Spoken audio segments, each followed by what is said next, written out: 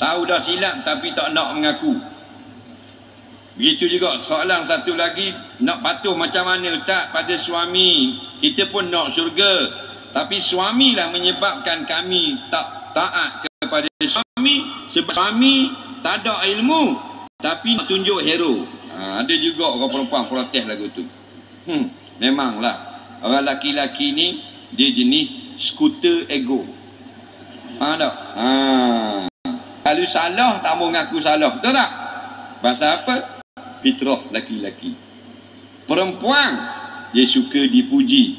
Kalau kita puji yang tak sepatut pun dia suka juga.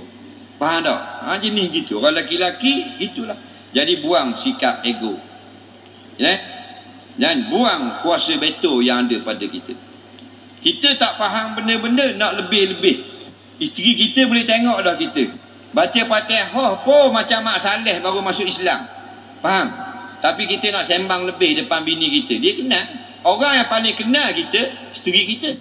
Orang yang paling kenal isteri kita, suami dia. Faham? Kerana isteri kita dengan mak dia tak tidur sebatang. Tapi dengan suami dia, tidur sebatang satu selimut. Faham? Ha, lepas tu banyak tahu rahsia. Neh? Ha, jadi orang lelaki-lelaki jangan ego lah.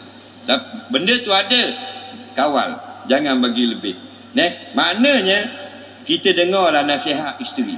Bila isteri kita nasihat, tak salah awak kita tak molek bang. Ha? Kita dengar. Bila kita dengar, Allah suka orang yang merendah diri. Kau boleh kan? Bila kita tak mau dengar, kau mang ha, mau dengar orang puan cakap, ada batu mu dia kata. Jangan dengar. Ha, syaitan. Dia hasut kita. Dia nak suruh kita takabur. Wa man takabbara wada'ahu Allah. Allah letak di bawah. Ha, letak bawah. Bila Allah letak bawah, kita tak mati lagi nama kita bawah dah. Ha, Imam Malik meninggal bila? Imam Hanafi tahun 150 Hijrah meninggal dunia. 1400 tahun dah nama masih orang sebut. Ha, kita dah hati dia dah sebut dah nama. Kalau mati balik awal terus. Faham tak? Pasal apa dia lebih? Man tawadha'a rafa'ahu Allah. Orang yang merendah diri Allah akan. Jadi kita merendah dirilah dengan bini kita. Bukan mengalah. Nah, separuh-separuh. Ada benda yang dia tegar kita dengar. Jangan jangan. Ah, ah. Awak jangan pandang-pandang ah jangan nak ajar aku. Aku orang laki-laki jangan. Buah gitu isteri kita tu orang yang terbaik yang duduk dekat dengan kita faham kita setuju untuk jadikan dia pasangan hidup yang akan makan sepinggang dengan kita berok selubang dengan kita maka kita kena mengalah dengan dia bukan ikut dia kalau dia nasihat kita galau Nah, ha, kadang-kadang kita lelaki kuasa betul nak pakai. Nah, ha. Eh, awak tak dengar orang ngajar. Orang lelaki-lelaki boleh buat everything, you know. Oh, tu. Baru makan cikedih dua raju tu cakap orang putih dulu. Faham? nah, ha, ini tak benar sifat lagu ni. Neh, balik tu mengamuk. Eh, mana eh? Awak pergi mana? Eh mana pula ni? Celaka sungguh aku balik ni nak makan nasi. Mana ni? Eh mak mana mak?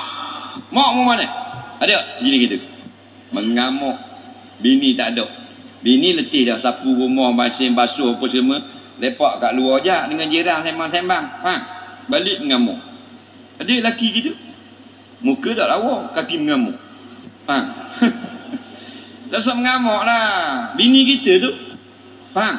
Kita dah setuju dah dengan dia untuk sampai ke syurga nanti. Faham? Tak payah tanya balik. Ya? Yang? Kat mana ya? Abang balik ni? Hei, wah ni senyap ni. Kat mana ha? Hei, ke mana pula ni? Abang boleh tahan kira. Tak? Ni wah, wah, wah, wah, wah. Aku balik mu tak ada. Aku balik mu tak ada. Aku nak makan nasi. Nampak? Dah bagus hari tu. Nah. Ha. Kalau boleh lebih manja lagi. Nampak? Tanya. Ya, yang abang balik ni. Awak mana ya? Awak kat mana? Awak awak kat mana? Faham. Ha, lagi seronok bini kita. Faham? Ha, jadi janganlah lebih-lebih. Kalau ego ada sifat sombong, tak usah kata suami kita yang jahil. Kalau ulama besar mana pun ada sombong sebesar zarrah. Allah Nabi tak kata sekilo. Nampak? Mislu zarrah. Miska zarrah. Miska zarrah ni seumpama butir yang sangat halus. Kalau ada sombong dalam hati, maka tidak dapat masuk ke dalam syurga. Na'udzubillah min zalik. Wallahu a'lam mudah-mudahan Allah berkati pertemuan